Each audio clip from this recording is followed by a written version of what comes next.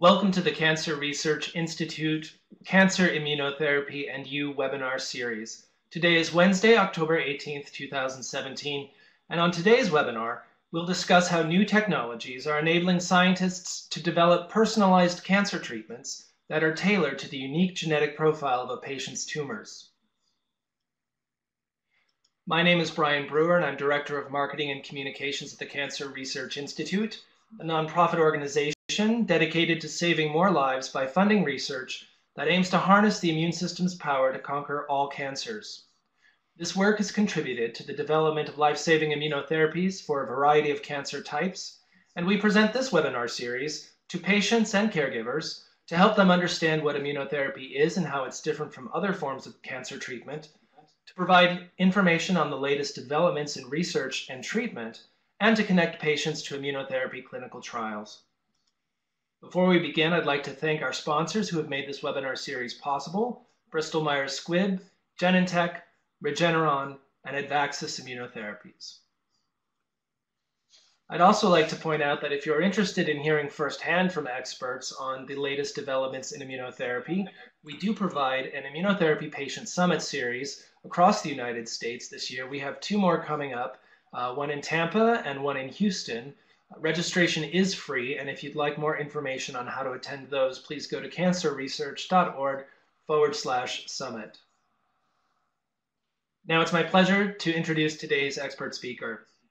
Robert D. Schreiber is the director of the Center for Human Immunology and Immunotherapy Programs, the co-leader of the Tumor Immunology Program of the Siteman Cancer Center, and the Andrew M. and Jane M. Bursky Distinguished Professor of Pathology and Immunology at the Washington University School of Medicine in St. Louis, Missouri.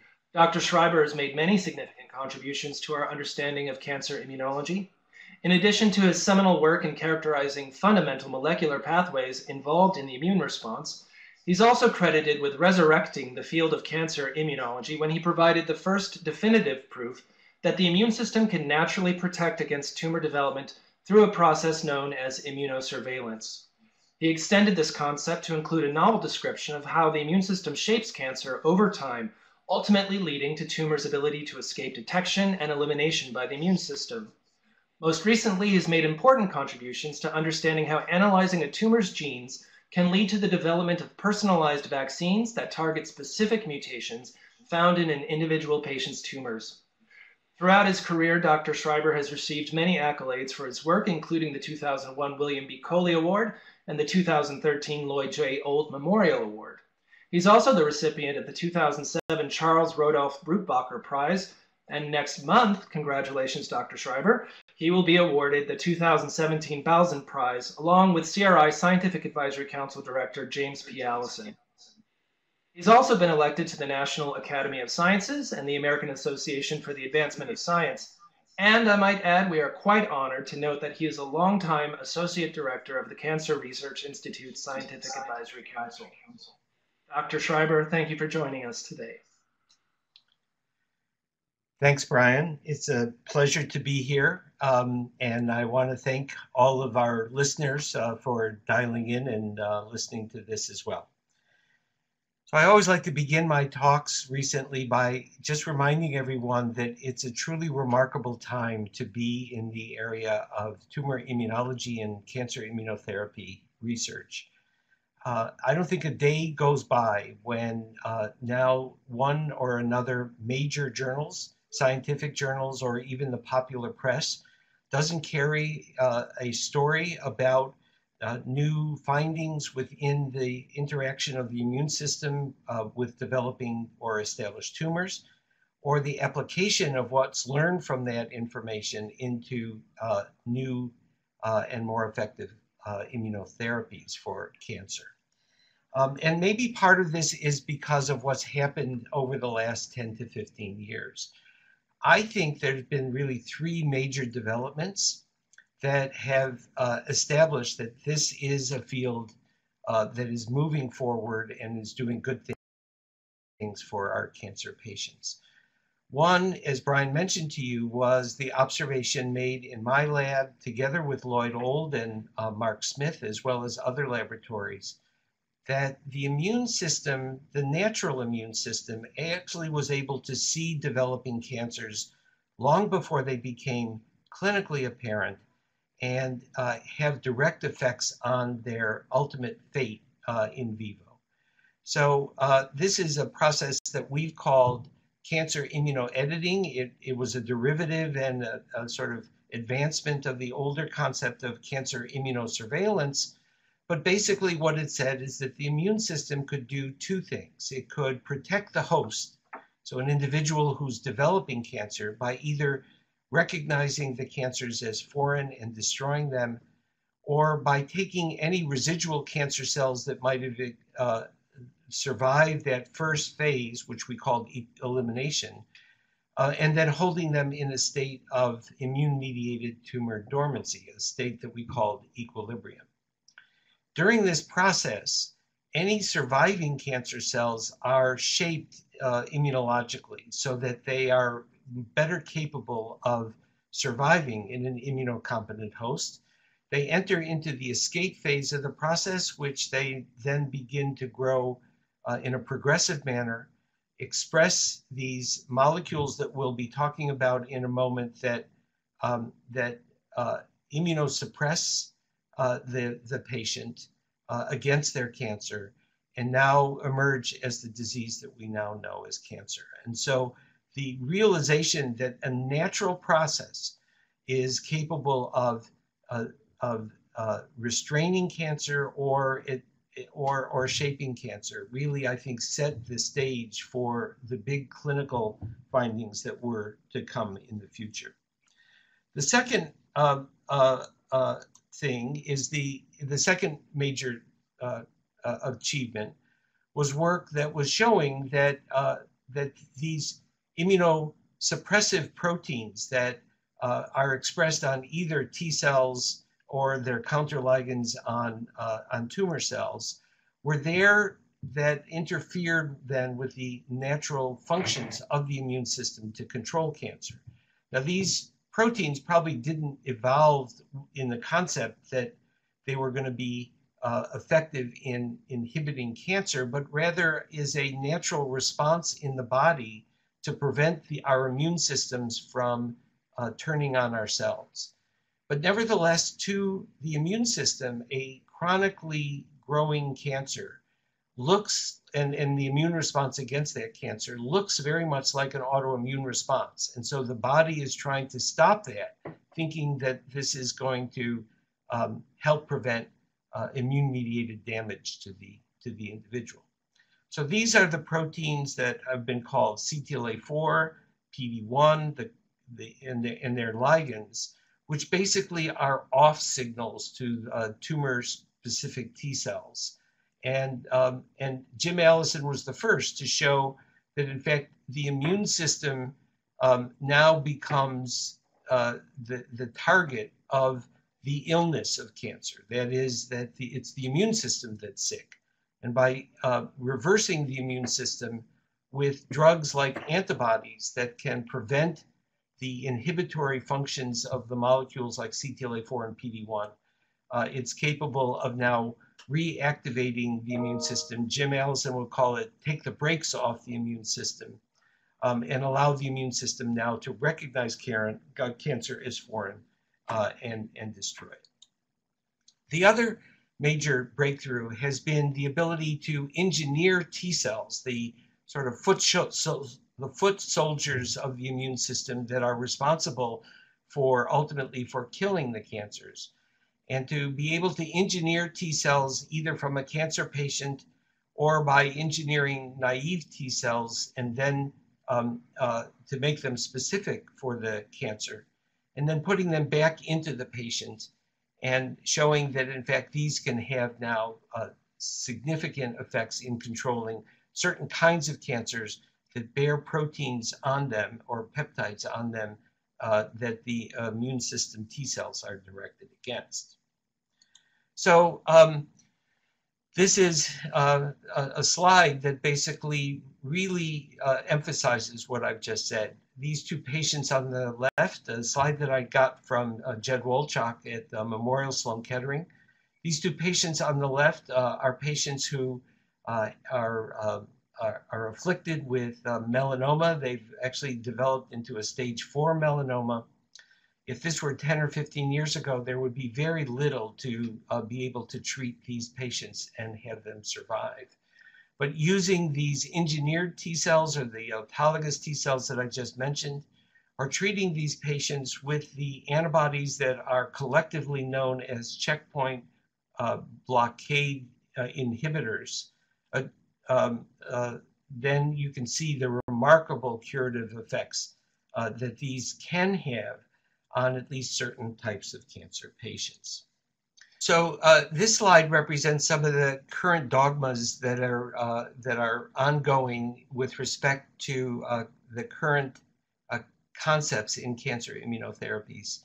Uh, a very important one is that the recognition that the immune system is dysfunctional in cancer patients, and uh, this dysfunctionality, this immunosuppression that is largely guided towards the tumor itself, allows the tumors to cancers to grow out.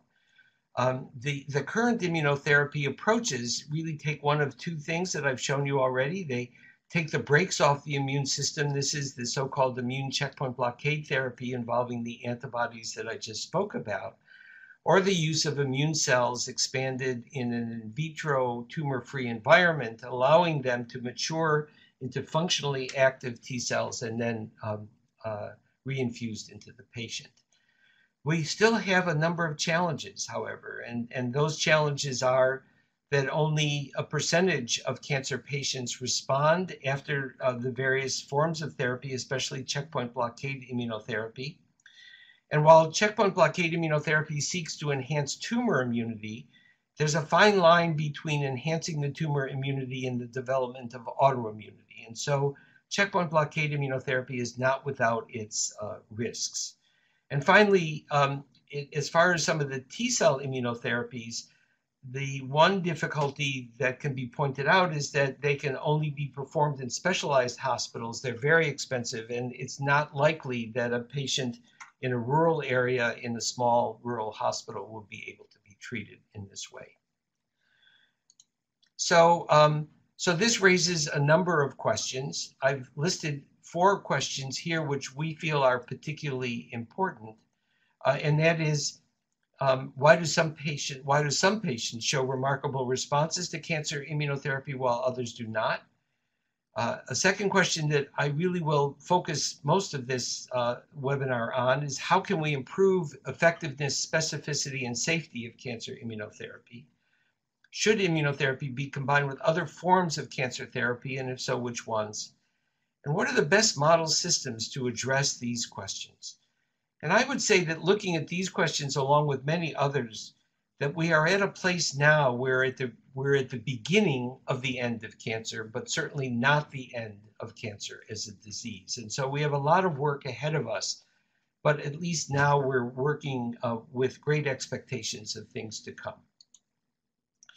So, um, so I, I would like to sort of begin uh, some of the discussion with, with our work on cancer immunoediting um, because we asked several years ago what are the targets of cancer immunoediting and what mechanism does editing uh, occur? And so this was based, of course, like many of the scientific discuss, uh, investigations, on work of others. And so early work from the labs of Terry Boone in Brussels and Hans Schreiber at the University of Chicago suggested that tumor-specific mutations can sometimes function as tumor-specific rejection antigens. And I'll tell you more about antigens in a moment. We've come at a time now when a lot of the genome sequencing efforts by our uh, genomics colleagues uh, are being applied towards cancers. And these kinds of efforts reveal that all cancers express mutations, some a lot, some, uh, some very few, but nevertheless, they do have uh, these mutations that, are, uh, that, that result in abnormal proteins.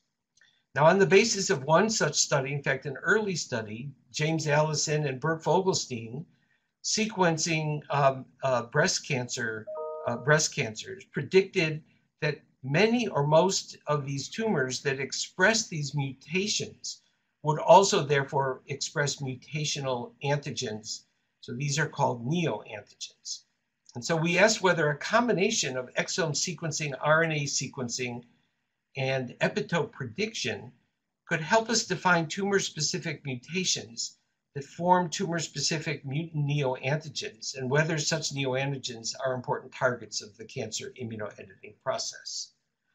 So, um, so let's just divert, uh, uh, just uh, change course for a moment and just mention two things about uh, tumor uh, neoantigens. First of all, the comment that all tumors have uh, mutations. Um, and, and some of these mutations are called driver mutations. These are mutations that contribute causally to tumor formation. They provide cancer cells with growth or survival advantages. They're relatively early events in tumor formation, and they're also relatively limited number uh, in, per cancer cells. So, in other words, maybe two to five uh, driver mutations. Examples of these would be oncogenes, which, um, when they are mutated, are a gain of function mutation, so they drive the the uh, the, the mutations to the, the transformation process. And tumor suppressors, where it's a loss of function mutation, uh, indicating that, that now it's easier for a cell to fully transform into a cancer cell. But the other type of mutation is a, called a passenger mutation. So these are functionally neutral. Tumor cells don't really care whether the passenger mutations are present because they don't need them to either survive or expand. The mutations in, that are called passenger mutations can arise as a consequence of genomic instability that very often accompanies cancer formation, and they develop throughout cancer evolution. So these mutations that are sort of going along for the ride vary in number per cell. Sometimes you can see tumor cells that have as many as a thousand passenger mutations. And they can also be expressed in a heterogeneous manner. So obviously, for the immune system, it doesn't care about the function of the mutation here. It just cares about whether the mutation is seen as foreign. So we in the field don't necessarily differentiate between a passenger mutation or a driver mutation in making a good vaccine for cancer, just that they form a good target for the immune system. And so this raises the issue then of what these targets are. And of course, the targets that we're talking about here are tumor antigens. So these are what the immune system sees that can differentiate a cell having these uh, unusual proteins in them compared to normal cells. And as you see here, there's four classes of uh, tumor antigens. The one that has probably been tried the hardest therapeutically are ones that are called tumor associated antigens or TAA. These are antigens that are shared by cancer cells and by normal cells. They can be expressed in an overexpression in a cancer, or they could be aberrantly expressed uh, in, in a cancer cell where ordinarily the parental cell doesn't express it. They can also be cell type differentiation antigens. But the key here is that there are normal cells in the body that have these proteins. So these proteins are encoded in the genome, and therefore we have already developed a form of tolerance to them that, uh, that limits the ability of the immune system to react against them. Sort of a subset of these TAAs are oncofetal antigens. These are antigens expressed during fetal development, but also uh, during, oops, I did made a mistake here, during fetal development, but also during uh, or in cancer. Again, these are encoded in the genome. And so again, you have the tolerance issue uh, to, uh, to deal with. A third type are the cancer testes antigens. Now these are probably better targets than the other ones because these are expressed only in cancer cells and gonadal cells. So, in, for example, in the testes or the ovaries. But these again are encoded in the genome. Because these antigens tend to be expressed in tumors from, a, from several different cancer patients, early work trying to develop cancer vaccines focused on these type of antigens. Um, and while there were some successes here, the successes overall were rather disappointing in as not moving us uh, to, a, to, to a curative response as much as that we had hoped. Theoretically, the last group here, these tumor-specific antigens, may be the best targets of all because these are antigens that are expressed only in the tumor cells, but not in normal cells.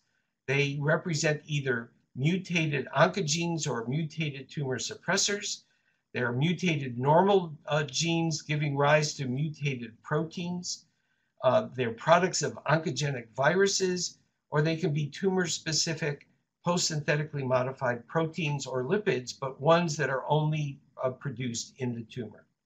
The important thing of the TSAs is that they are not encoded in the genome. So to the host immune system, uh, they actually look like foreign antigens. And so in this case, we can make the immune system believe that these are just simply viral proteins or bacterial proteins, and therefore um, might be able to develop a stronger immune response to these.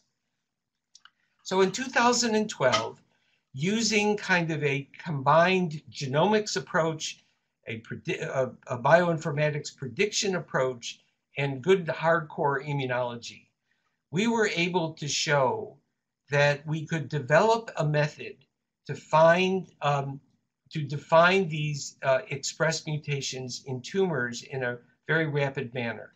It's not to say that investigators couldn't have done this before. In fact, many did. But it was very labor intensive. It took months of months of work to, to find the antigens. Um, but we were able to now reduce that uh, time of refinement down to a matter of a week or two instead of spending four to six months uh, doing it. We were able to show that in these mouse uh, sarcoma models that we work with, that, uh, that they resemble carcinogen-induced human cancer. So they look like lung cancers from smokers, etc. Using this technique that we developed, we were able to identify a single protein that had a single amino acid uh, change, a point mutation, and this was a major tumor-specific rejection antigen of the particular tumor that we used called D42M1. We then went on to show that D42M1 undergoes immunoediting in wild-type mice when you transplant it into wild-type mice. And what grows out of these mice were tumors that lack the major rejection antigen, and we went on to show that immunoediting occurs via T-cell induced immunoselection uh, mechanisms. So that was largely a, a, study of the natural immune response against the tumor, showing that neoantigens, in fact, are critical targets of the natural immune response uh, in, in, um, in selecting or shaping the tumor to make it better, uh, more fit to grow in an immunocompetent host. So that told us that cancer immunoediting occurs as a consequence of a Darwinian immunoselection process acting on a tumor cell population that displays heterogeneous expression of strong uh, tumor-specific mutant neoantigens, resulting in evolution of tumor cell variants that lack major rejection antigens with reduced immunogenicity. So um, again, this was a focus on natural immune responses to developing cancers. And this prompted us then to begin to ask the question that was more clinically relevant. That is, what happens to the immune system and can it handle uh, uh, uh, tumors that have become established in an immunocompetent individual? And so we asked the next three questions. Can edited tumors be controlled by checkpoint blockade immunotherapy, one of the immunotherapies that I've already spoken to you about? If so, what are the antigenic targets of T cells that are reinvigorated by this therapy, and can we improve upon checkpoint blockade uh, therapy? And so two years later, uh, we had an answer to these questions. And I've listed for you essentially the summary of, of these answers. We did show that even after editing, many tumors still maintain a level of immunogenicity that can be attacked using cancer immunotherapy. And so some tumors are indeed susceptible uh, to cancer. Some edited tumors are indeed susceptible to cancer immunotherapy. We used our immunogenomics approach that I described to you to rapidly identify tumor-specific mutations that function as the tumor neoantigen targets of uh, the immunotherapy approach. In fact, we again found that neoantigens are the favored targets of T cells activated by checkpoint uh, antibodies.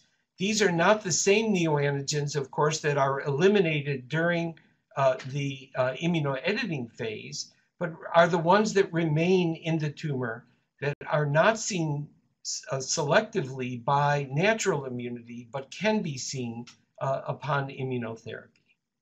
And then importantly, we showed that the neoantigens can be used in therapeutically effective personalized cancer vaccines. So this is the kind of approach that we use now. If this could be actually a a, a mouse model system or a cancer patient, we basically identify, we basically harvest the tumor and normal tissue from, um, from our cancer patient. We uh, sequence the tumor looking at whole exome sequencing and, um, and also uh, RNA sequencing. So we're really looking for those mutant uh, proteins which are expressed in the, uh, in the cancer cell. We ID these expressed mutations.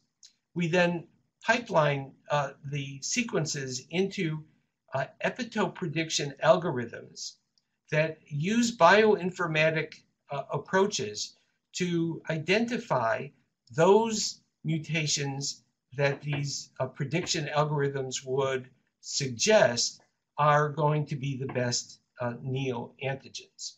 We prioritize the list based on their uh, uh, binding affinity to uh, the major histocompatibility complex proteins. We then apply filters. We synthesize peptides that, that um, entail the uh, mutation that we've detected. And then we look for uh, the ability of are we right or are we wrong by doing uh, in vitro and in vivo analyses and also then looking to see whether they form a good vaccine. So I won't show you all the data, but I, I, I do want to show you this data because I think it's particularly pertinent. We went through a whole series of biochemical, biophysical uh, analyses, immunological analyses, and found that we were able to predict with some degree of certainty at least a proportion of those neoantigens, those mutations in our tumor cell that uh, formed good neoantigens. And what I'm showing you on the left of this slide is a survival curve of mice bearing that particular tumor called T3. And these mice are then treated with the different checkpoint antibodies, either anti-PD-1 alone or anti-CTLA-4 alone or both together.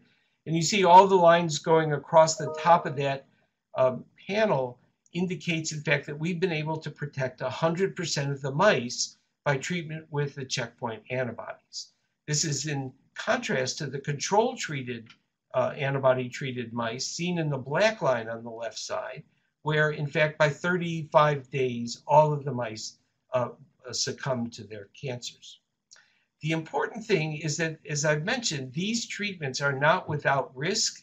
And so we wanted to know if we thought uh, if we if we felt strongly that the T cells were seeing tumor-specific neoantigens, theoretically we should be able to vaccinate our tumor-bearing mice with the antigens that the T cells saw. And so these two antigens, a mutant form of laminin alpha subunit 4 and a mutant glycosidase called uh, ALG8, are the two major antigens in the T3 tumor and as you can see on the right side in the red line here, that, that um, animals bearing tumors that are now vaccinated with the actual targets of the T cells are now become responsive to that vaccine and uh, reject their tumors.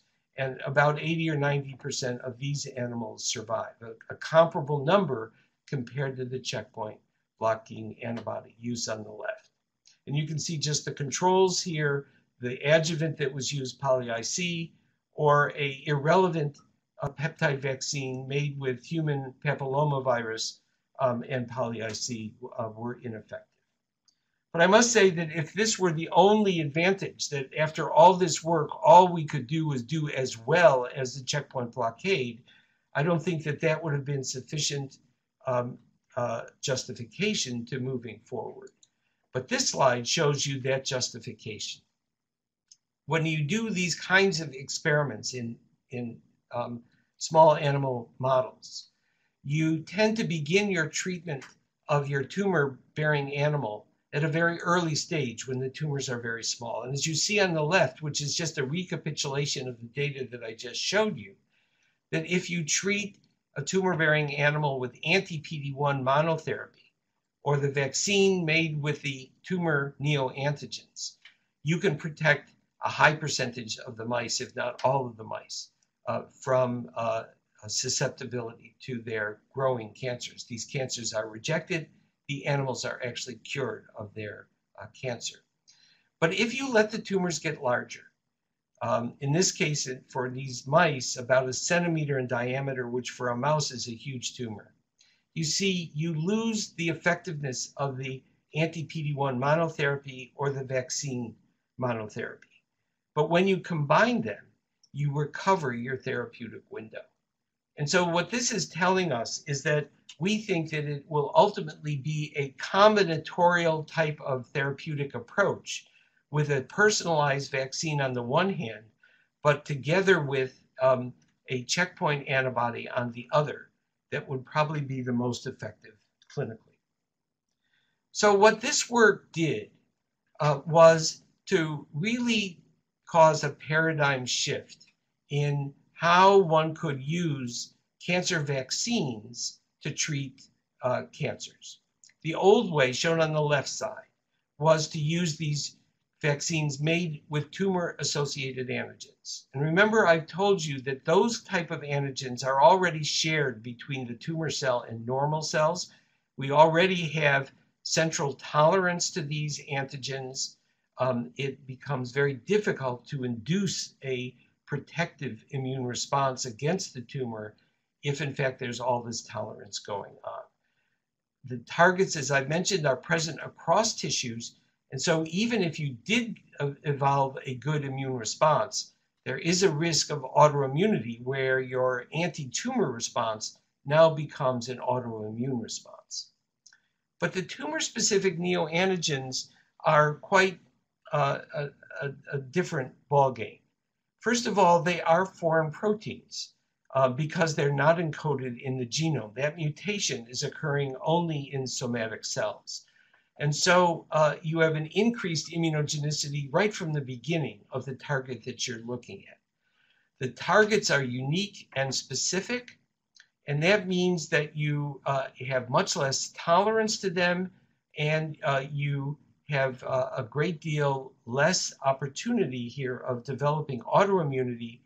And again, in that regard, because it's only the tumor that expresses these abnormal proteins, your entire immune response is against one cell type in the body, and that's the tumor and not normal cells. And so you get around with a lot of the, away from a lot of the uh, potential problems.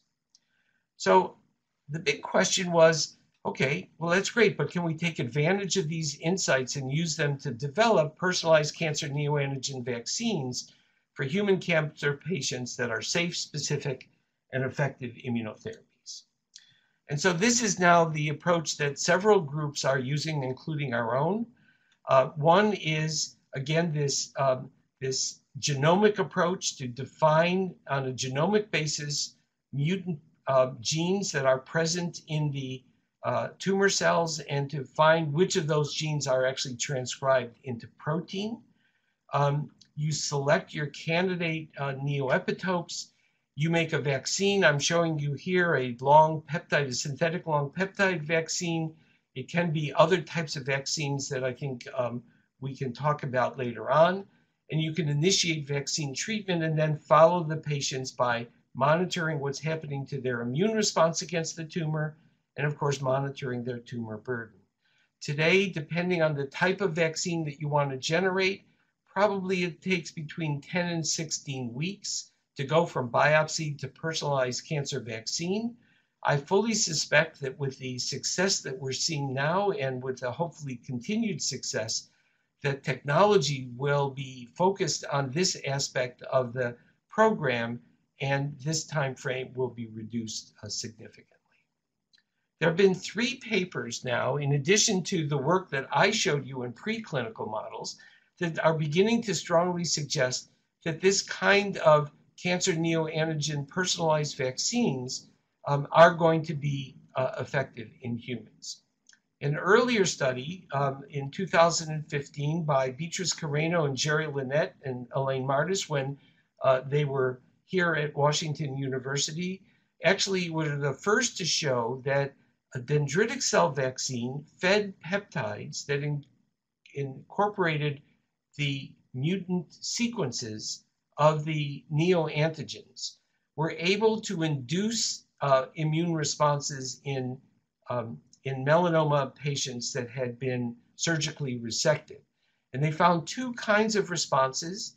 There are T cells that are pre existing in some of these melanoma patients. They found that their vaccine enhanced uh, their, uh, their, their, the number of T cells that were against those, uh, those specificities. And then they found that there were new T cells that hadn't been detectable before, but could be detected following the vaccine, indicating that you were broadening the anti-tumor response.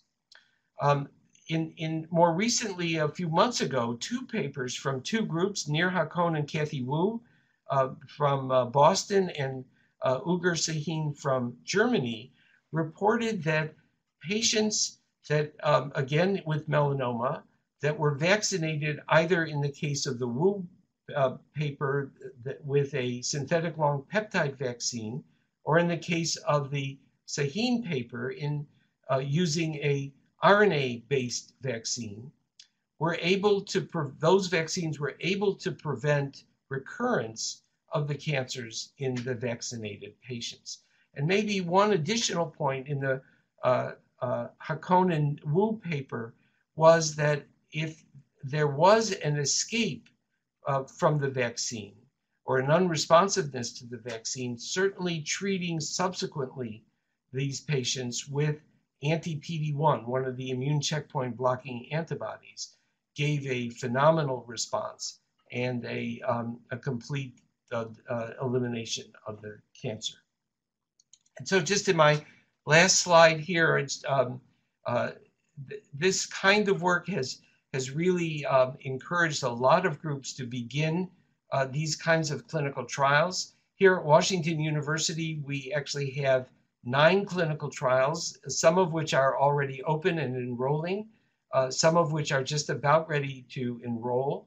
Two in particular uh, in glioblastoma and in uh, non and in um, in uh, triple negative breast cancer have treated patients, and we seem to be getting, at least in some of these cases, uh, uh, interesting immunological responses. It's too early for, um, uh, for looking at uh, clinical responses. But in addition to these two sites, we're also doing renal cancer, prostate cancer, of course, melanoma, bladder cancer, pancreatic cancer, non-small cell lung cancer, and lymphoma.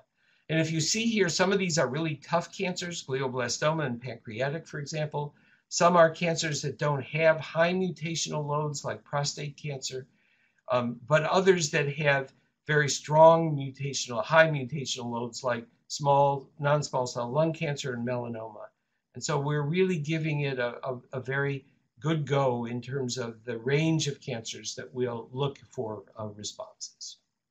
So to conclude, what I've mentioned to you today is that the immune system can protect against cancer development and shape cancer immunogenicity by this natural process that we've called cancer immunoediting. highly antigenic tumor-specific neoantigens are targets of naturally occurring cancer immunoediting. After immunoediting has occurred, naturally cancers display reduced, but I want to stress not absent immunogenicities, and many edited cancers can still be controlled by immunotherapy. Mutant neoantigens remaining after editing are important T cell targets during immune checkpoint blockade therapy, and personalized cancer immunotherapies targeting tumor-specific mutant neoantigens has been achieved in preclinical mouse tumor models, but I think really excitingly now, recently in human cancer patients. So I'd like to stop here and acknowledge the large number of people who have participated in this uh, project. I won't go through them by names, but on the left are um, the people that have come through my lab over the years that have worked on this project. In the middle, people um, at Washington University um, uh, who have uh, contributed and been integral parts of the studies. Of course, um, my long-standing collaborator, Mark Smyth, and of course, Lloyd Old, who was the, the guide so much for these studies uh, and a close collaborator while he was alive. Um, and all of the people on the right who from other institutions contributed thoughts and reagents, etc., that we are uh, incredibly grateful for. And then finally, also funding and one really shout out to the Cancer Research Institute that was there really from the very beginning with us, um, who uh, supported our work, who uh, whose support of our uh, postdoctoral trainees and even early on some of our pre-doctoral trainees really made this um, possible. So I Thank you very much for your attention, and I'm happy to uh, answer any questions. All right. Well, well, thank you very much for that, Dr. Schreiber. Are, are you able to see me, or are you seeing a, a black box? okay, good. Well, that was quite uh, an introduction uh, to the concept of antigens, neoantigens, uh, how the immune system sees cancer, how it shapes cancer, and how you're taking all of that and turning it into you know personalized treatments which i think is really cool um, you know i've been with cancer research institute for nearly 20 years and 20 years ago a lot of focus was on the development of therapeutic vaccines um, but those seem to not really get the job done and as you pointed out it was the checkpoint inhibitors that really blew the field wide open and some were saying that vaccines had gone by the wayside and that, that we wouldn't be seeing much from them again. Now, with neoantigens, it seems like there's a resurgence of interest in vaccines. Do you do you see vaccines on the ascendancy now uh, as a result of this work? Yes, I, I, I do. I think, um, you know, in part, uh, the, the failure of the vaccines previously was, as I mentioned, was the fact that we were trying to vaccinate against proteins in which there was a central tolerance to. So it made the immune system, it just was a brick wall for the immune system to climb over, and it was too great. I think the interesting thing is that the finding not only of the power of the uh, checkpoint antibodies, but also the fact that the T cells that get reactivated once that checkpoint antibody has been added um, are against neoantigens, but only a subset of neoantigens. And so the thinking here is that with a vaccine, we can do better than the natural process. And so by combining the vaccine to get more neoantigens together with checkpoints, we think that this will become the, the standard fare in terms of treatment. So we're hoping very much that this will be the case, especially in cancers that have high mutations. So are you saying that um, these new type, this kind of vaccines 2.0 would um, target multiple antigens at the same time in patients? Yeah, yes. So the idea would be we would never want to focus on one or two antigens because if these antigens are these so-called passenger mutations that a tumor can live without, then the, the possibility exists that there may be tumor cells that don't express those antigens. So you treat with your vaccine, you select against the ones that have the antigens in them. You leave behind the ones that have either different antigens or lack that targeting. So what we what most people are doing in their vaccines essentially is to um, to put in 10 to 20 different epitopes. So the idea would be hit as many possible uh, antigens, neoantigens as we can together with checkpoint blockade and make it most effective. So uh, walk me through this. Uh, let's say I'm uh, I'm a cancer patient and um, I'm at your your your treatment facility and the doctor suggests um, that now would be a good time to consider a, uh, a clinical trial and, and I guess it would have to be a clinical trial at this stage, right? There's no FDA approved neoantigen vaccine. Um, if, if, I'm that Correct. patient, um, do do I uh, what what would I what should I ask my doctor? I mean, should I should I just know that I have these neoantigens? Does every patient have neoantigens? Um, is a patient going to know whether or not they would be eligible for a study like that? Yeah, so um, that's an important question. I think I, I think obviously um, probably almost every tumor has some neoantigens. Um, you won't know that until your biopsy is taken and your your tumor is sequenced. I think that's a very important thing. Of course, that's not a particularly painful part of the the treatment, and um, and now in a relatively short period of time, you know, you'll go back to your physician, and that physician will have the data to say your tumor has perhaps a sufficient number of neoantigens that would be worthwhile trying a vaccine together with a checkpoint antibody. Probably everyone will receive at some point some form of checkpoint uh, antibodies, and we're thinking initially uh, the the, um, the the checkpoint antibody treatment will start immediately, and then the vaccine will be uh, administered very soon after, as soon as the data from the sequencing occurs and the vaccine can be made. So I think, and then you can also say, well, how does this compare to chemotherapy, right, and or radiation therapy? And so it's been pretty remarkable that the patients who have been treated right now with cancer vaccines, even without checkpoint, um, have really not suffered many um, adverse events. So it's it's it's quite safe. Um, it's uh, it, and and I think that it, it does, and I think it even trains the immune system when they do develop, when they do get uh, uh, checkpoint blockade therapy, that the immune system now becomes much more focused on the tumor itself.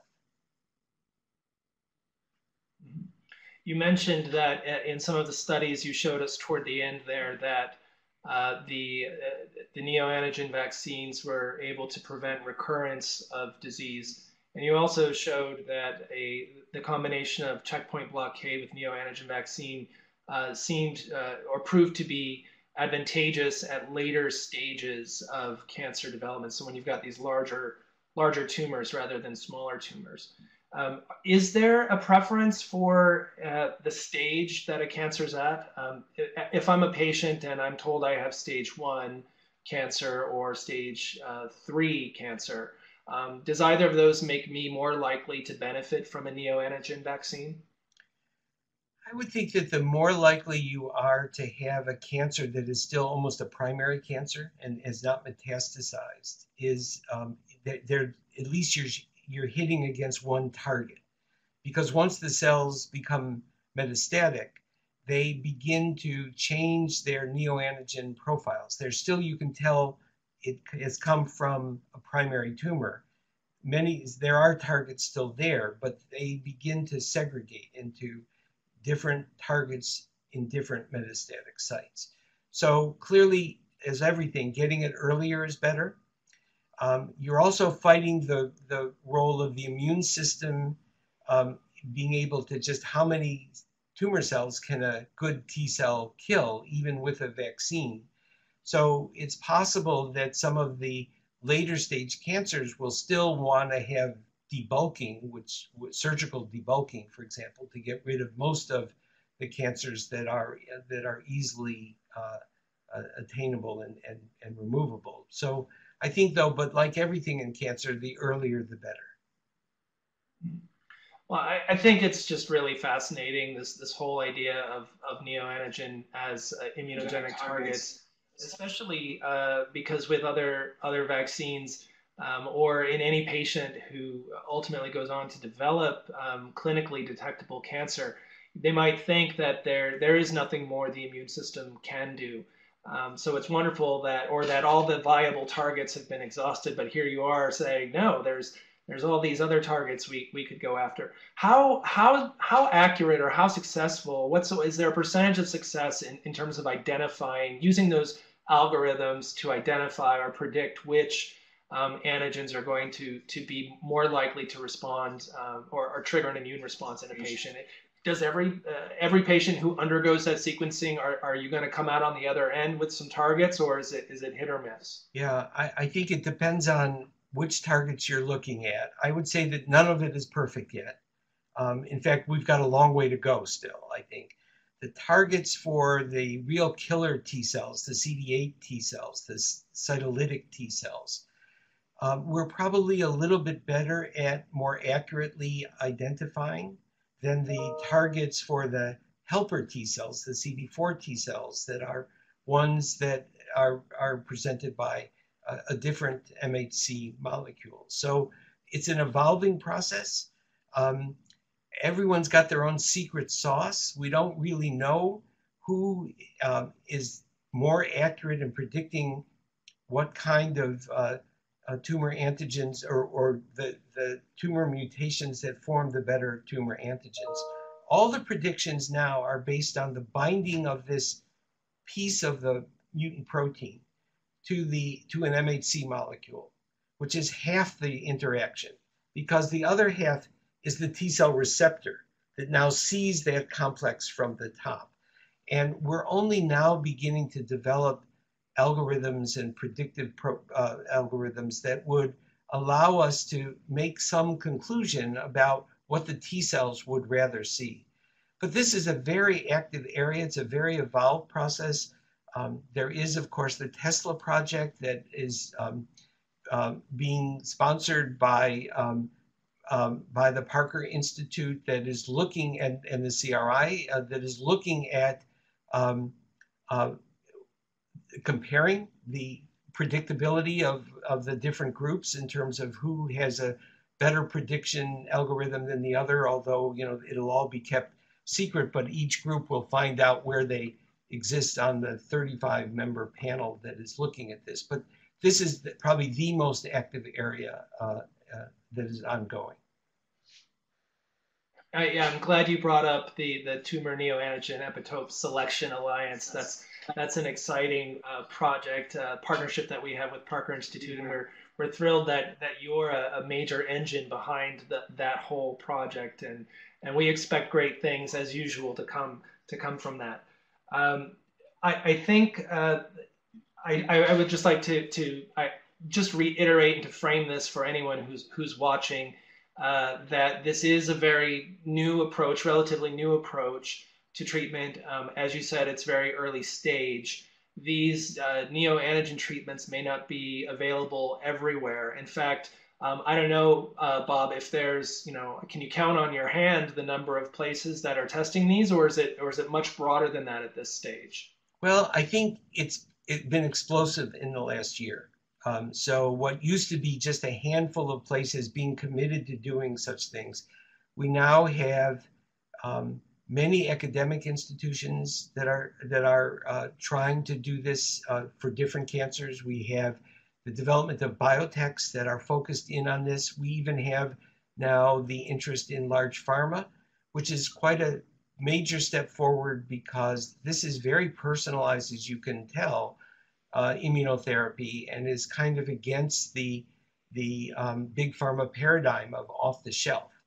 I do think that there may be some off the shelf vaccines that may come of this uh, as we do more and more. But right now, it's really considered to be highly personalized. But the best I can give you is that there are 35 independent groups from all aspects of from academic uh, research, research, from from uh, uh, biotech, from large pharma that are participating in this comparative project, which to me is a really remarkable collaboration uh, among very, a, a, variety of very competing uh, groups. So I think that it will be, um, we'll learn a lot in the next year. So 35 groups now, but I, I suspect this will climb, and as more and more of these reports, like the two that I showed you um, from Kathy Wu and Nir uh, and uh, uh, Ugur Sahin, showing encouraging clinical outcomes from these kinds of neoantigen vaccines, I think more and more people will get involved.